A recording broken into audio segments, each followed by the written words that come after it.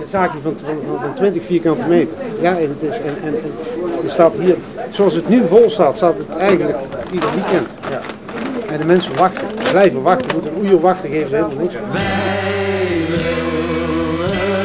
Friet met mayonaise. Niet met saté, De frietzaak van Martin en Annelies Swerts aan de Bosdijk in Eindhoven is dan misschien wel klein, maar wel goed. De beste zelfs van heel Nederland. Frietwebsite Frietopia kwam tot het besluit en bracht zelf de oorkonde. Wat vinden de mensen nou fantastisch hier? Waarom moet je... Waar gaan mijn klantjes? Ja, maar wat hoor je het meeste? Eentje uit Utrecht. Uit Utrecht, mevrouw? Hier gewoon altijd een frietje eten. Ik kom al van kleins af aan hier. Ja. Zijn opa heb ik eerst gedaan en dan nog een paar. En eh, vanaf kleins af aan kom ik hier al. Friet is friet zou je zeggen. Dus waarom is Martin dan de beste? De meeste, de meeste cafetaria's, die laten dit zitten. Dat zijn die kleine harde stukjes, de bruine stukjes. Maar die gaan bij mij richting vuilnisbak.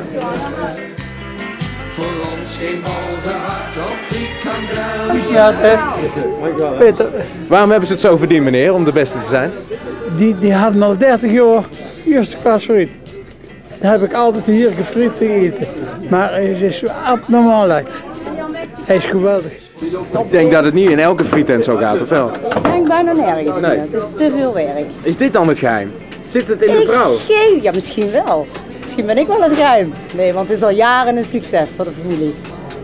En hoe is dan eh, ja, Martin Zwerts het beste geworden?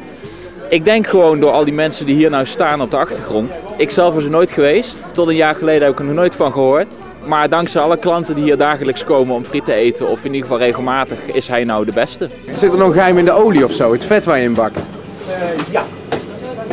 Daar zit ook nog Maar dat is geheim. Maar dat is geheim. Dat zeggen we niet.